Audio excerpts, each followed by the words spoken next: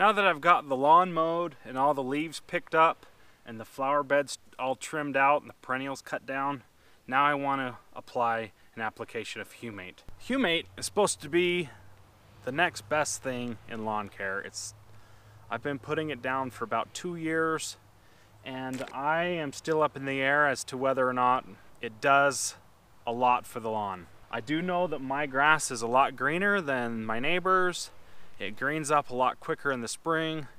It stays green a lot longer in the fall. And it could have something to do with the humate. I don't know.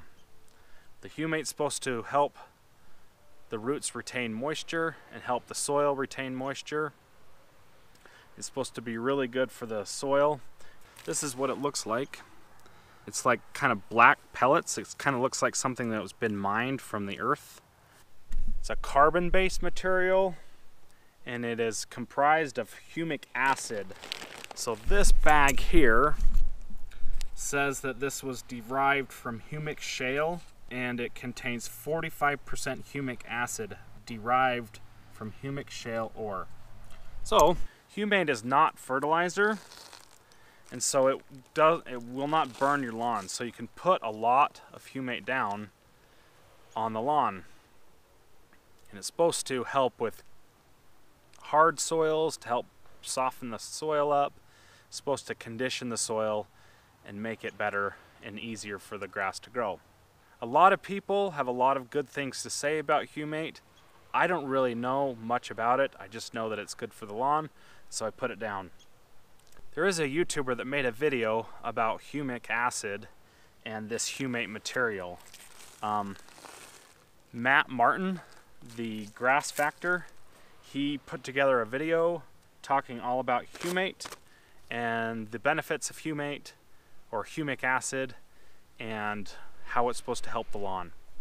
And I'll link to that video in the description. And I thought that that video was quite awesome actually. So anyways, so I'm gonna put the humate down. I'm gonna put it down at about maybe 10 pounds per thousand feet. I've got a 50 pound bag here and then here's a 50 pound bag. I think I'm gonna put about a bag and a half over this, um, this 7500 section and then maybe the other half bag on the other side of that um, walkway. So here we go. So I've got the humate here. That's about th about three quarters of the way open on the spreader.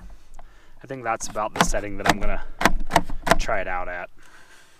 So I've got this humate here, it's about probably about 40 pounds or so.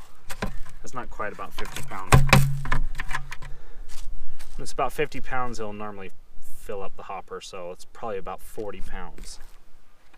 I want this to cover about half of this section. Probably gonna do about 60 or 70 pounds of humate on this section. And that'll sit all winter long. This will probably be the final application of humate that I'll put down. I put my last application of fertilizer down last week. I'm not going to be putting any more fertilizer down and so I'm just going to put the humate down this will probably be my last application of product applied with the, the spreader.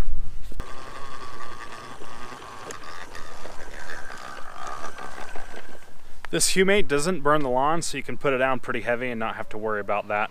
It's really good also for ornamentals, flower beds, um, vegetable gardens, and crappy soil. It's supposed to help um, condition soil, bad soil, clay soil, and kind of help it become better soil. So here we go.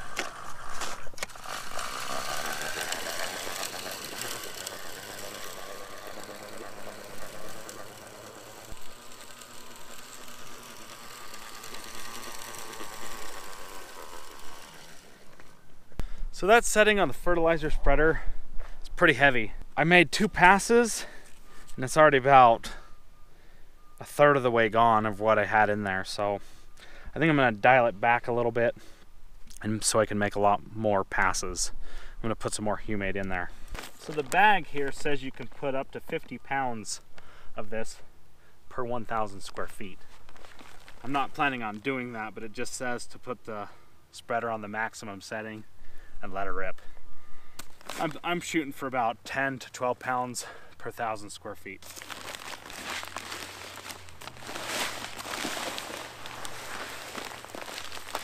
So I'm gonna dial this down a little bit. Try that.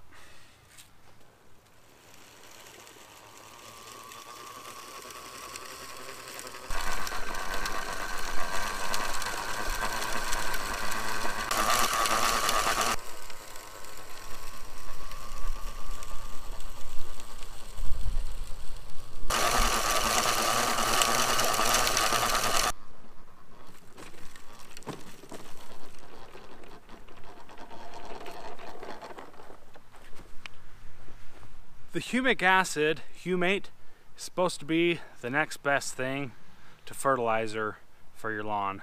Everybody raves about it, so I keep putting it down and I probably will continue to put it down.